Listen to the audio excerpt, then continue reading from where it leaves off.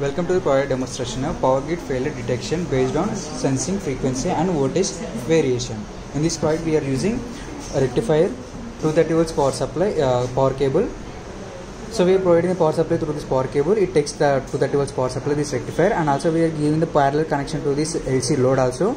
So the AC load will be on and off by this relay. Relay will be get switched on and get switched off by variation of this frequency and voltage. So the variation of this frequency voltage frequency and voltage by this uh, port values. So this uh, voltage port will be connected to the PIC controller and the frequency port will be connected to the comparator. Then comparator will compare the say voltage uh, sensing values. That sensing values will be given to this PIC microcontroller and also this port uh, voltage port values will be given to this PIC microcontroller directly.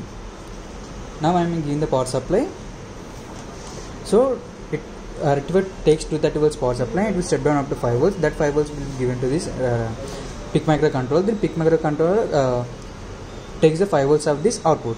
So then PIC microcontroller uh, will provide the 5 volts power supply to this port values and also comparator board. So we can see if the frequency is high then automatically this uh, bulb will get switched on. We need to stabilize the frequency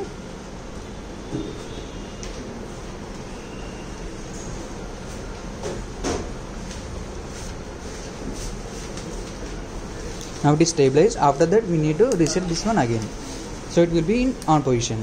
And also if it is low frequency then it will be get switched off. And also we can see we have to stabilize and again reset.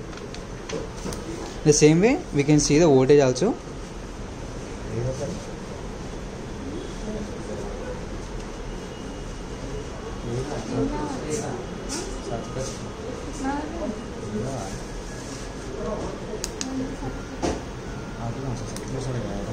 now we are increasing the voltage.